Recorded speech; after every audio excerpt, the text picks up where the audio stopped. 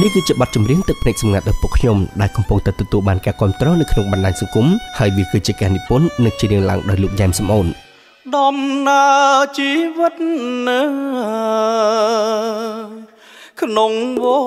ត្តសង្សារនៅលើលំហ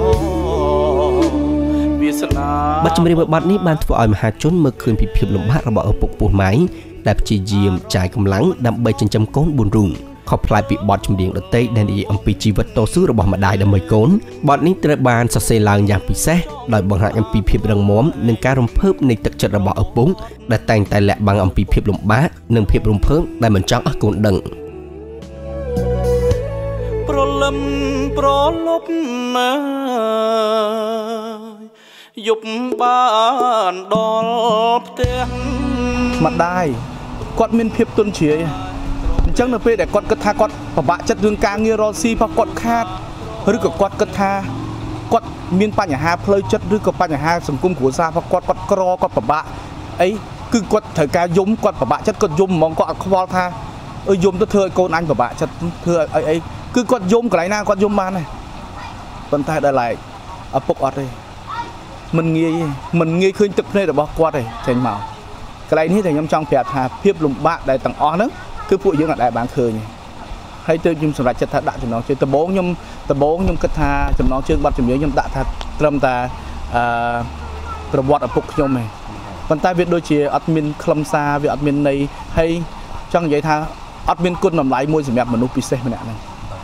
ពេលខ្លះសំបីតែភាពរំភើបរបស់គាត់ដែលគាត់រំភើបនឹងរឿងអ្វីមួយរបស់កូនណា ក៏គាត់អាចស្រក់ទឹកភ្នែកបានដែរប៉ុន្តែគាត់មិនងាយឲ្យកូនកូនឃើញទេបើតាមការលើកឡើងរបស់លោកយ៉ែមសំអូនទាំងអួលដើមកប័ណ្ណចម្រៀងមួយប័ណ្ណនេះផលិតឡើងចេញពីបេះដូងហើយពេលដែលលើកប័ណ្ណនេះម្ដងម្ដងធ្វើឲ្យលោកបាននឹកឃើញដល់លោកឪពុកអ្នកម្ដាយខណៈដែលតារាចម្រៀងកូនកំព្រារូបនេះចង់បង្ហាញអំពីភាពជោគជ័យរបស់ខ្លួនយ៉ាងខ្លាំងនិងការឈឺចាប់របស់លោកនៅពេលដែលលោកជួបបញ្ហាម្ដងម្ដង ប៉ុន្តែគួរឲ្យសោកស្ដាយលោកមិនមានឱកាសព្រោះអ្នកទាំងពីរបានបាត់បង់អឺខ្ញុំបាត់បង់លោកឪពុករបស់ខ្ញុំនៅក្នុងឆ្នាំ1992ដែលពេលនោះខ្ញុំមានអាយុប្រហែលជាខ្ញុំនៅក្មេងមែនតើដូចជាជាង10ឆ្នាំឯងបាទឆ្នាំ2001ដែលខ្ញុំបាត់បង់ម្ដាយខ្ញុំម្នាក់ទៀតពេលនោះខ្ញុំមានអារម្មណ៍ថាខ្លួនឯងលហលហេវមែនតើហ្មងអស់អស់អស់លលេងហ្មងហើយទន្ទឹមនឹងពេលដែលបាត់បង់គាត់ ខ្ញុំប្រែប្រួលជីវិតខ្លួនឯង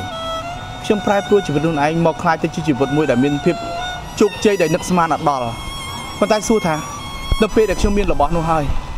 តើអារម្មណ៍របស់ខ្ញុំយ៉ាងម៉េចអារម្មណ៍ខ្ញុំខ្ញុំចង់ប្រាប់ថាខ្ញុំពិតជាសោកស្ដាយពួកគាត់ទាំងពីរមែនតើតែសារខ្ញុំចង់អួតគាត់ខ្ញុំចង់ខ្ញុំចង់អួតប្រាប់គាត់ថា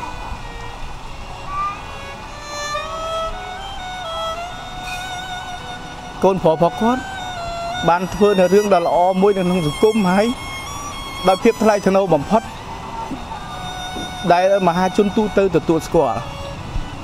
សាងឡើងមកដោយពួកគាត់ទាំងពីរនាក់ខ្ញុំមានរឿងជាច្រើនដែលខ្ញុំត្រូវចង់អួតប្រាប់គាត់ថាម៉ែអើយពុកអើយខ្ញុំបានបរាជ័យរឿងធំមួយហើយឥឡូវនេះខ្ញុំចង់បានពាក្យថ្នាក់ថ្នមពីគាត់មកឬក៏ត្រឹម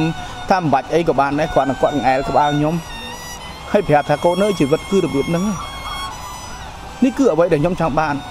តែខ្ញុំគ្មានឱកាសដូចអ្នកដទៃខ្ញុំអត់មានឱកាសពុកអើយកូនស្ដាយស្ដាយពុកខ្លាំងណាស់សូមបញ្ជាក់ថាបទចម្រៀងនេះត្រូវបានផលិតឡើងស្របពេលនៃពិធីបុណ្យភ្ជុំបិណ្ឌ ហើយវាក៏ជាសារការរំលឹកដល់យុវជនឲ្យយកចិត្តទុកដាក់ចំពោះឪពុកម្ដាយខណៈដែលពួកគាត់មានវត្តមាននៅជាមួយយើងគ្រប់គ្នាបានសងគុណលោកសែនធ្ងន់អីលើពុកស្លាប់ចោលកូនពុកអើយកូនស្ដាយ